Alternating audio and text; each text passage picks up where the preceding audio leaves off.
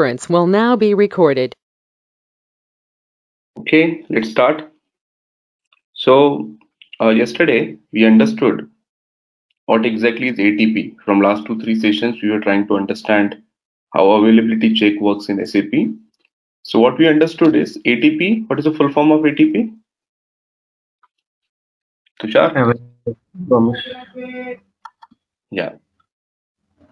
Tushar, what is ATP?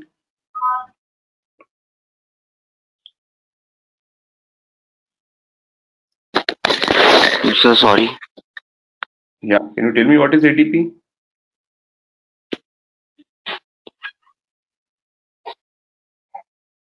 So It no, I don't know. Sir. Okay, that is the reason I asked because uh, normally we understood the topic, but the full forms are also important. Okay, so it is available to promise. Okay, what do you mean by available to promise? So whenever you are getting the order from the customer, okay, you want to ensure that the sufficient quantity is available to confirm that much quantity to the customer. So what happens is whenever you are creating a sales order, system determines how much ATP quantity is available. ATP quantity means the quantity which can be committed to the particular customer. So based on what is my stock, what are my total uh, planned incomings, what are my total planned outgoings, based on that system will be performing the ATP check and on a particular date system will tell us whether that much material is available or not. Okay, so that is available to promise. So in SAP ECC, okay, I'm talking about ECC and comparing it with S4 because when I say advanced ATP, this is a new topic which is introduced in SAP S4 HANA. This was not there in SAP ECC. Right, so in ECC, available to promise, or I can say basic there were multiple types of available to promise. So I'll write it in this way. So available to promise in ECC. The first thing was the basic ATP, basic availability check. Instead of basic ATP, I should say basic availability check. What is basic availability check? The thing that we have done till now. Okay, yesterday, uh, in the last week, we have seen and the system will perform the basic availability check. It will verify how much is the stock, what are the planned incomings, planned out, planned outgoings, everything. Once it is calculated, system will be able to tell us whether the material can be delivered on the planned delivery date, requested delivery date, or it will do the uh, forward scheduling and tell us that which date we can confirm to the customer. So that is a basic availability check which is available in the system. This basic availability check also performs the basic backorder processing. So in basic availability check, it includes the uh, ability of the system to perform the ATP check and in, if we want to do the backorder processing, even we can do in the base, basic availability check itself. So this is one thing. Second thing, if you want to use advanced features, okay, there are product allocation, for example. Product allocation is one of the scenario which is not available in the core ECC system. If you want to do the advanced uh, backorder processing, advanced, uh, as I told you, the product allocation. So if you want to do the advanced features, for advanced features, for advanced ATP features, I'll say, we were using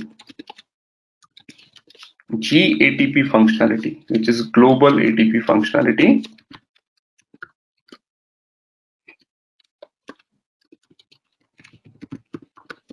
Of APO system.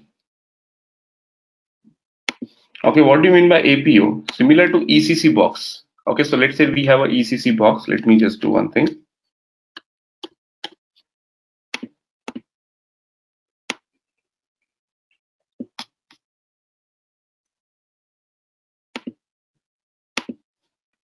Let's assume this is my ECC box. Okay, and there was a need of additional system, which is called as APO. So what was happening is my core basic features, if I want to perform the common basic availability check, it was happening in this system. But if I want to use advanced features, if I want to use global ATP, global ATP was only available in the APO system. This is a completely different system which can be integrated with ECC. So if you are using APO, you need to pay the separate because this is a separate product. So you have to pay the separate licensing fees to SAP. You have to deploy it on the another uh, server. So hardware charges, software charges. It definitely involves a lot of cost. Okay, so this APO was available as a separate system, and all these advanced features they were already only available on APO. Okay, which means if I want to perform the availability check here, I can perform the basic availability check. But if I want to perform the advanced ATP check, in that case, I have to create a integration between these two systems so that whenever system is performing the ATP check, it not only performs the check in the core ECC system, but the check should be also performed in APO. This was a very complicated architecture, right? Although it provides you a lot of benefits because if you're not using APO, then you'll not be able to use the advanced features. But it was complicated because not all the data was available in one single system right? So there was a lot of uh, coordination required. There was a lot of interfacing required in order to transfer the data from here to here and transfer the data from here to here also. Right. So this was the challenge in SAP ECC. In ECC, this is how my basic availability check was working and my advanced ATP checks were working. Now what I have done in SAP is in SAP S4 HANA. So ATP in S4 HANA. What SAP has done is, so ATP in S4. So definitely we still have the basic ATP check available, basic availability check. And then SAP came up with advanced. This terminology itself is completely new. Advanced backorder processing. Okay, so this is part of advanced ATP. So within advanced ATP, one is backorder processing. So we already seen what is backorder processing in basic ATP yesterday. But in addition to that, there is advanced Fiori based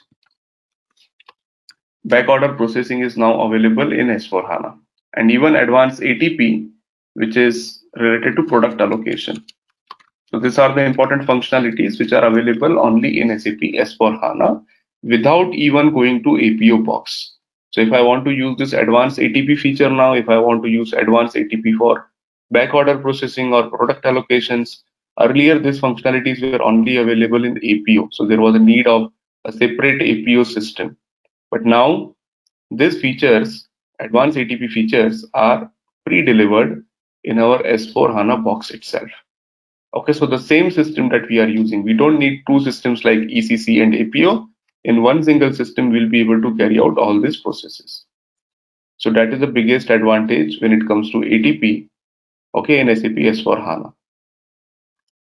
Now we already understood what is basic availability check. What we will do now is we will understand what are this advanced atp backorder processing functionality available in s4 hana and what is this advanced atp product allocations functionality available in s4 so when it comes to backorder processing, what we discussed yesterday,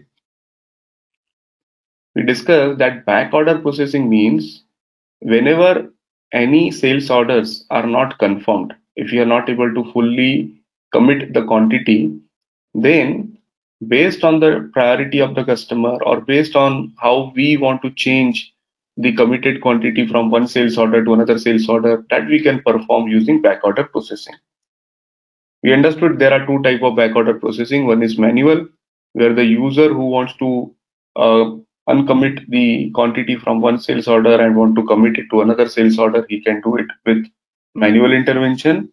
On the other hand, there was second type of backorder processing called as rescheduling. In the rescheduling, system will confirm and unconfirm the quantity based on the delivery priority. Okay, so normally delivery priority is very important in case of rescheduling, where we can go and we can tell the system based on the delivery priority, try to commit the quantities to the sales orders. Right? Same way, there is a new concept or there is a new way of performing the backorder processing in SAP S4 HANA. okay, which is not only based on delivery priority, you can select any combination of fields and you can tell the system to whom the preference should be given. Okay, so even if my delivery priority is not top, if even if my delivery priority is not high or very high, but still, if I want to consider a combination of a customer, material, or any particular field, then I can tell the system that this particular combination should be given the highest importance. Right? So this advanced backorder processing works on this logic. This is a new logic. Five confirmation strategies. There are five confirmation strategies which are provided in SAP S4HANA for advanced backorder processing. Okay, so what exactly are these confirmation strategies? So you can see the confirmation strategy. First one is win. Okay, you can see confirm as requested. Shall, shall be fully confirmed in time. So these are those customers okay i can create a confirmation strategy which can be the combination of my customer combination of my uh, delivery priority whatever different confirmation strategies i want to create i can create and i can tell the system that if this sales order belongs to this customer plus condition 2 plus condition 3 plus condition 4 whatever are your conditions if that condition is true this particular strategy will get the highest priority. Okay which means this customer will always win, irrespective of whether the uh, whether the other customers are getting the material or not. But we will definitely try to give full material to this customer. Okay, so let's assume this customer is giving you the order now. Okay, and you have only a quantity in the stock, the quantity is only available as 10 and this customer is asking you to deliver the material in next three days. How much quantity? Customer is asking for 100 quantity. Okay, this customer is asking for 100 quantity and this 100 quantity you have to give in three days. In your stock, you only have 10 quantity. So what will happen is system will try to give the material from those customers or from those strategies which are the lower priority. So for example, there is a confirmation strategy called as loose, which means whenever you will be performing the backorder processing automatically, whatever quantity has been given to this type of customers or this kind of strategy, it will be removed from this type of customers and it would be given according to the priority. So if I already allocated some material here, let's say I allocated 50 quantity to this confirmation strategy. So the orders which are falling under this strategy already consumed 50 units. So what will happen as soon as I perform the backorder processing, all the 50 units will be transferred from here to Win, which means 10 was already available, 50 we got from this strategy. Okay, still we are left with 40 quantity. So system will try to go to this strategy and it will find out if there are any quantities which are committed to this particular strategy. So let's assume 30 is available from this also. So system will remove all the quantities given to this type of customers and 30 all the confirmation orders which you have created the quantities were confirmed they will be the confirmation would be deleted and the 30 quantity will be transferred again to the win situation. Okay now we are left with 10 so let's assume in redistribute we have 30 quantity which is already allocated to the customers. But we don't want entire 30 right? Which means you can see should gain but may also lose. So in this case, out of 30, we want to remove the 10 from here and we want to give it to the win situation. Okay, so ultimately win has got all the material that the customer has requested. Okay, the we are getting the quantity from the strategy where the customers are falling under this strategy, lose, under this fill, under this redistribute, and we are copying everything. We are taking all the quantities from here and we are trying to confirm the quantity for those strategies which are in win situation. So this win situation means the customer is the boss. Whenever customer is asking for any material, if the material is not sufficiently available, we will take that material from redistribute, fill, and lose categories.